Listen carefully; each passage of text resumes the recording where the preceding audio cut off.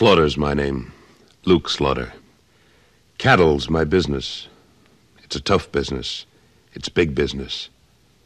I got a big stake in it. And there's no man west of the Rio Grande big enough to take it from me.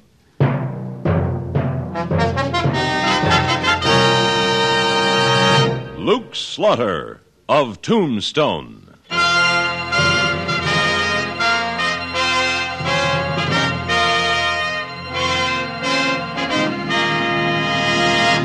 Luke Slaughter of Tombstone, Civil War cavalryman turned Arizona cattleman. Across the territory, from Yuma to Fort Defiance, from Flagstaff to the Huachucas, and below the border through Chihuahua and Sonora, his name was respected or feared, depending on which side of the law you were on. Man of vision, man of legend, Luke Slaughter of Tombstone.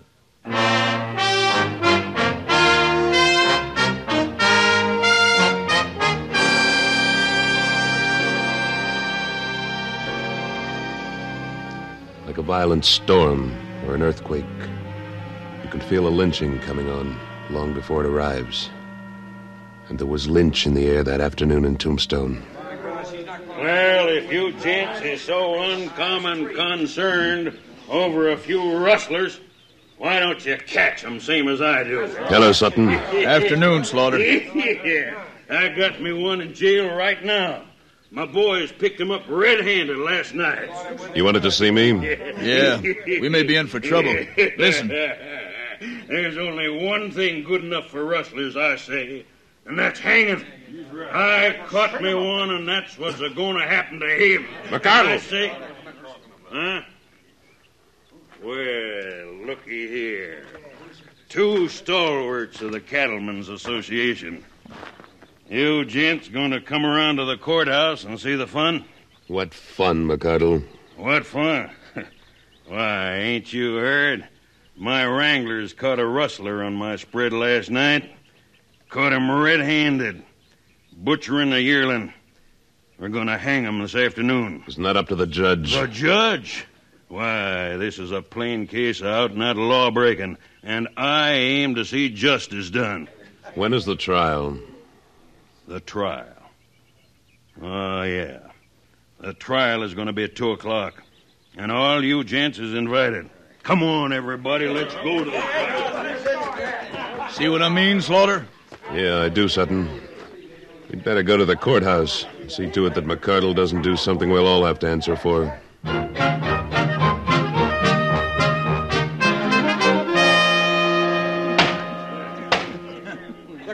Court will now come to order.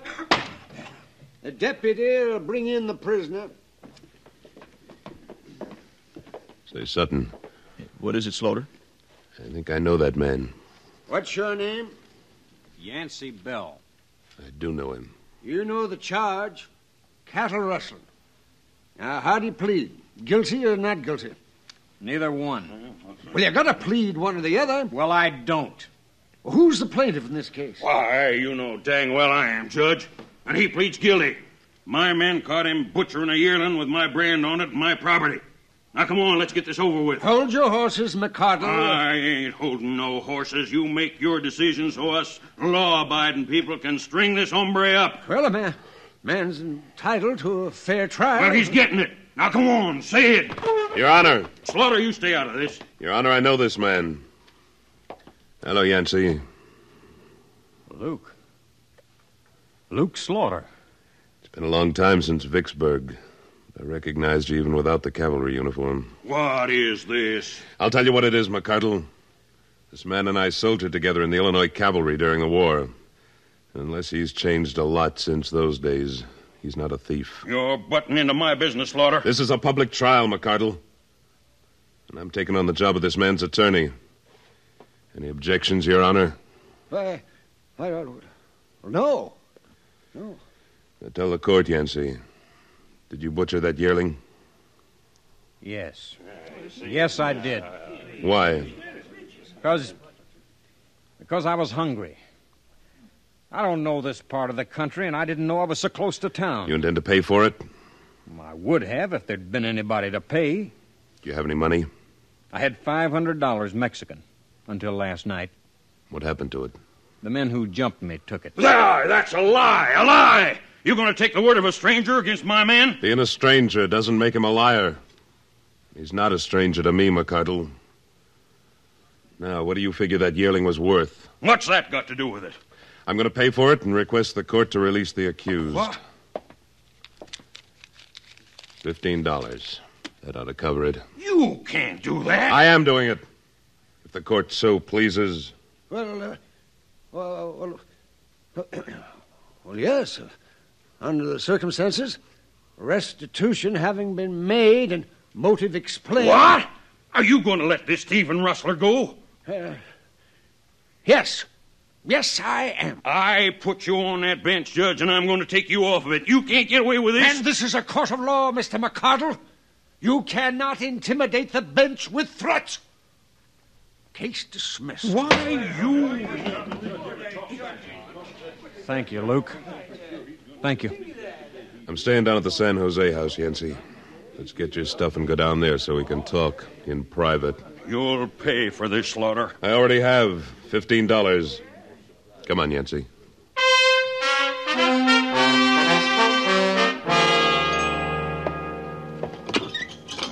Oh, this feels good. Ah, I haven't been on a bed in over two weeks. You weren't on a bed for two years during the war. yeah, that's right. You realize it's been nearly 15 years? We were kids then, Yancey. Greenhorn kids. What have you been doing since? Went east for a while, New York. Big town was too much for me, though. Finally went home to Quincy a couple of years back, and, and I got married. That too much for you, too? She died six months ago in childbirth. Kid died, too. I'm sorry, Yancey. So that's why I come out here. Starting all over again, you might call it. How about you, Luke? Well, cattle's been my business since the war. Kansas, Texas, Tombstone. You must be mighty big in these parts. That was quite a show you put on in the courtroom. No, you were getting a raw deal. you mind if I take my boots off? Feet are kind of swelled in. No, go ahead. Stretch out. You're welcome to anything I've got till you get organized. That's mighty nice of you, Luke. Especially since I've been cleaned. Yeah, it's the least I could do. I remember a sniper one night about four weeks into the siege of Vicksburg, and what you did about him. That's long ago, Luke. Ah, Forget it. Man doesn't forget things like that. Hey, you've lost a spur. Yeah, those Jaspers weren't very polite when they jumped me last night. Took 500 Mexican silver, huh? Yep. I aim to get it back, though. Well, I'll handle that for you. You just take it easy. I got some work to do over at the Cattle Association office. Yancey, you aren't leaving anything out on this yearling butchering, are you? When I get ready to lie to you, I'll let you know in advance, Luke. Yeah. Well, you get some rest. I'll be back about supper time.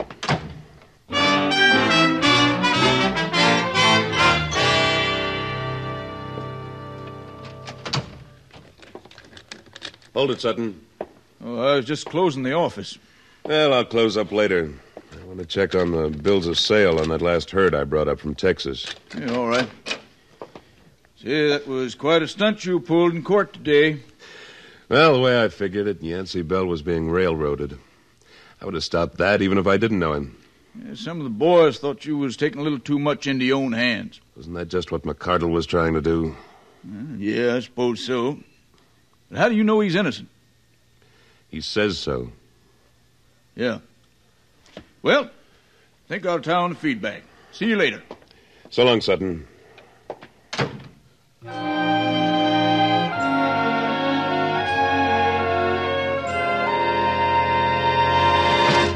Slaughter! Hey, Slaughter, Slaughter, wake up, wake up! Oh, oh Come on Sutton. Ah, I must have dozed off. Say, what time is it anyway? Time, why, it's almost eight o'clock. Eight o'clock. I forgot all about supper. Uh, Slaughter, listen to me. What are you so all fired upset about? There's been a shooting at the Crabtree Livery Stable, right next to the San Jose house where you're staying. Who got shot? Drake McCardle.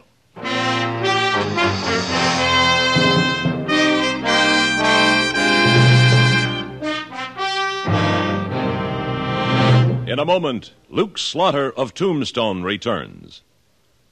A trio of rough and ready prospectors make trouble for our frontier gentleman, J.B. Kendall, in his next dramatic exploit on CBS Radio. The trouble starts when a young hitchhiker, whom Kendall has picked up, discovers gold.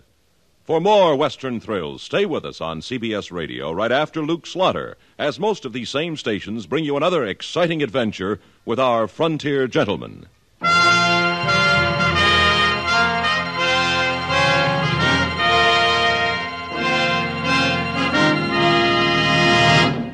Now, Act Two of William N. Robson's production of Luke Slaughter of Tombstone.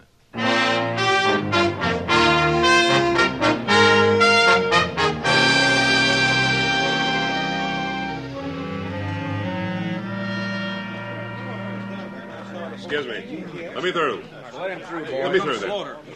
Hello, Slaughter. Hello, Sheriff. I've been wondering if you'd show up. Let me see your gun. What for? Seems to me you'd know the answer to that. There was bad blood between McCardle and you, wasn't there? Here, look at it. Uh huh. Well, it ain't been fired. Or it's been cleaned awful fast. That gun hasn't been out of its holster all day. All right, all right. Now, you know anything about this? I only heard about it five minutes ago, Sheriff. When did it happen? About an hour ago.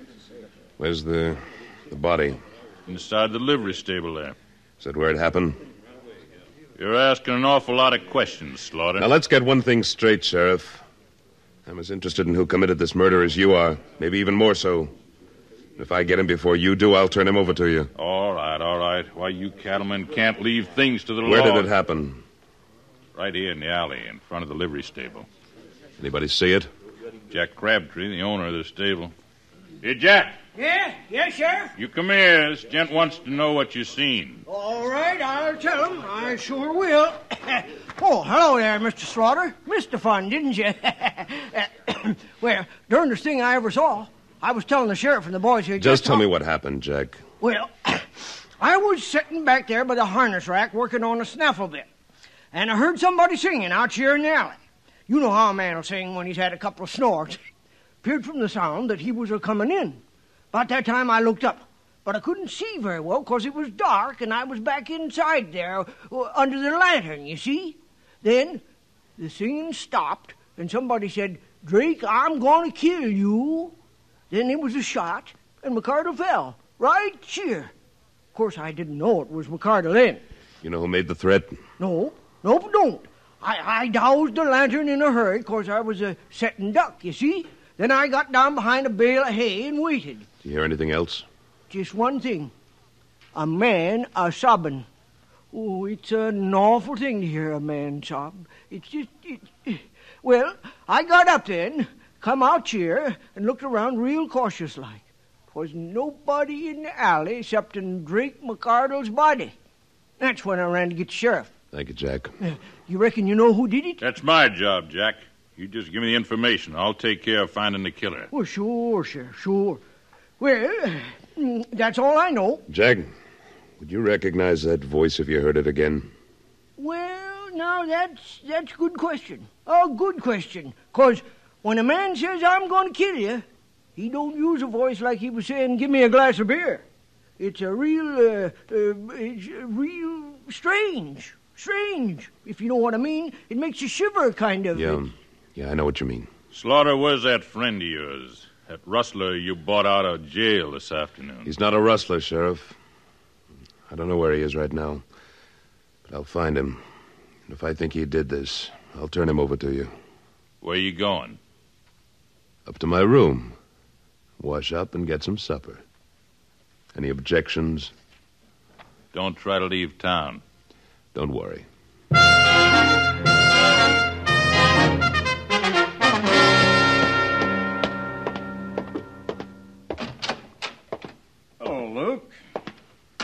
Missed the excitement.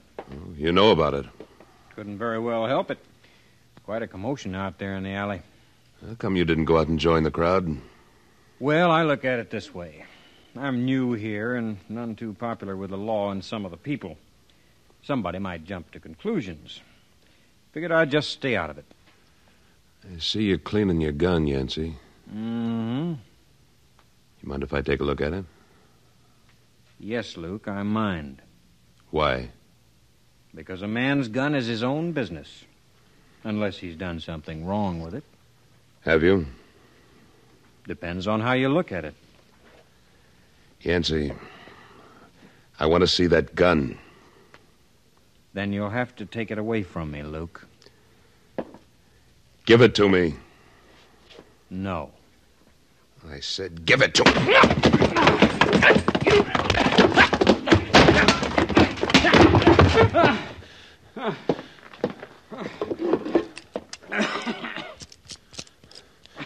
This gun's been fired recently, Yancey.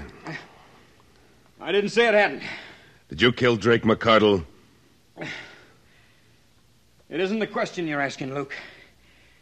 It's the way you're asking it. I'm not going to answer you. I'm trying to help you, Yancey. I'm trying to help you.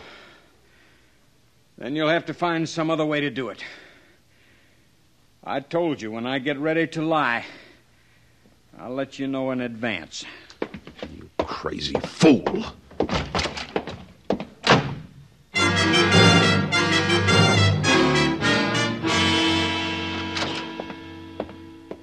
Well, Slaughter, I thought you was going out for some supper. I'm changing my mind, Sheriff. You have anything new on the killing? I'm working on it, Slaughter. I'm working on it. Ain't very much to go on so far. Well, what about McCardle's enemies? Oh, he had lots of them. He was a pretty bull-headed man. If he couldn't get his way by asking for it, he got it by force. I know that. You know of anything that happened today that'd make somebody want to shoot him? Well, you're about the best man to answer that question. You beat him out in court, and he didn't like it at all. Did you turn up any clues in the alley next to the body? Clues? Well, empty cartridges, footprints, anything like that? Yeah, there were some cartridges, but they was old ones. As for footprints, with all them people milling around afterwards, there was lots of them. Nothing at all, hmm? One thing. Might not mean nothing at all. Again, it might. This. Broken spur. Yeah. Well, I see you got both yours, so that lets you out. But when I find the man who's missing one, I sure want to talk to him. Can I borrow that for a little while? What for? I saw a man with one spur missing today. This might make two missing. Just point him out to me. No, Sheriff, this is my play. I'll make it alone. We had one killing. We don't want another. There won't be, if I can help it.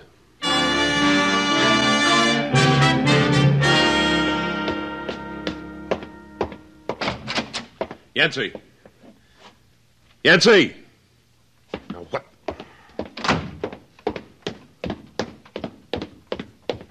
Hey, Pop! Hmm? Oh, oh, yeah, Mr. Slaughter. You been on duty all evening? Oh, yeah, ever since supper. That man I brought in with me this afternoon, Yancey Bell. Did you see him go out? Mm-hmm. About ten, fifteen minutes ago. Did you say where he was going? Well, he, he asked me was there a place to get drunk, good and drunk. I told him he could do that most anywhere, but that the Crystal Palace was the biggest saloon in town. Did he go there? Well, I can't say. He just headed out the door. Say, he looked awful, like he'd uh, been in a fight or something. He had. He may be in another one.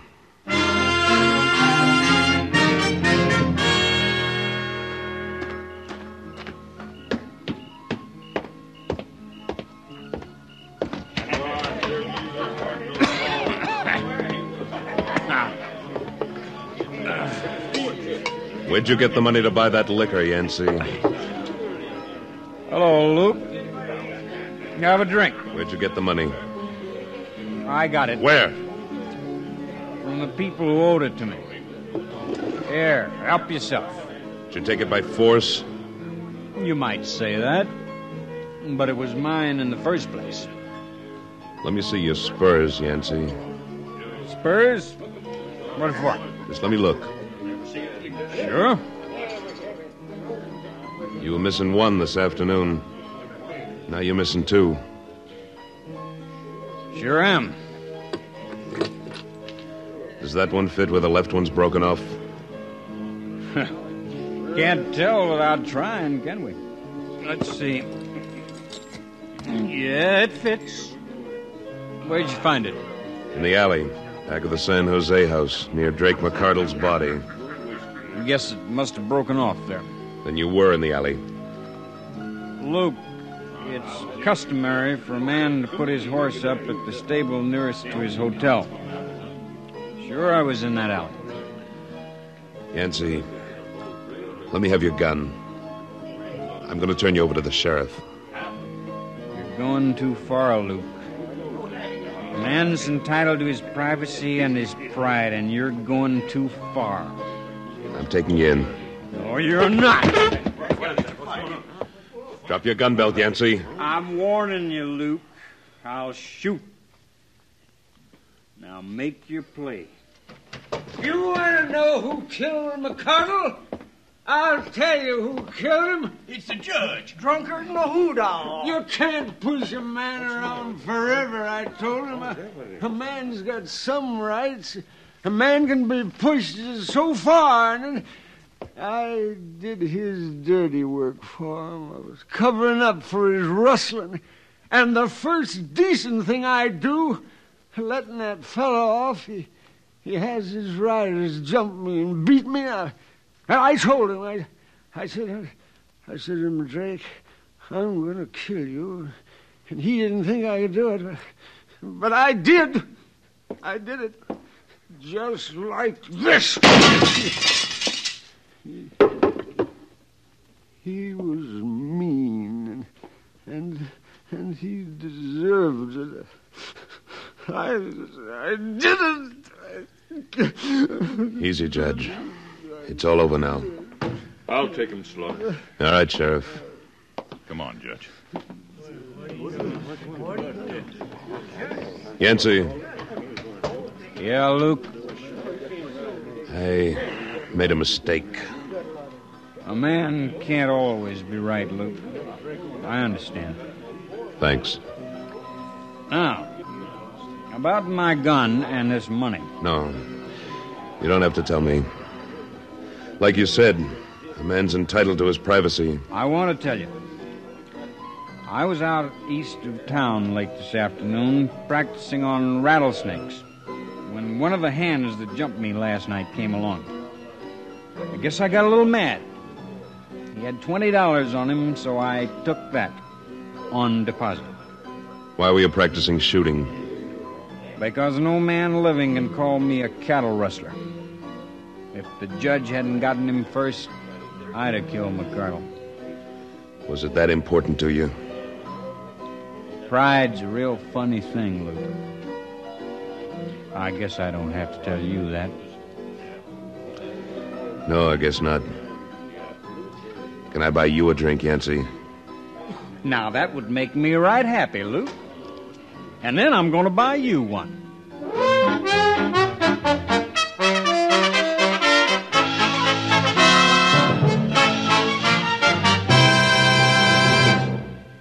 Luke Slaughter of Tombstone, starring Sam Buffington, was written by Alan Botzer with editorial supervision by Tom Hanley and directed by William N. Robson. Supporting Mr. Buffington were Lou Merrill, Howard McNear, Barney Phillips, Sam Edwards, Junius Matthews, and Norm Alden. Music composed and conducted by Wilbur Hatch.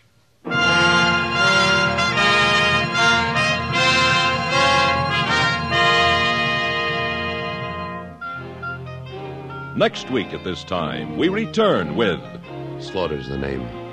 Luke Slaughter. When we meet up again, you can call me that.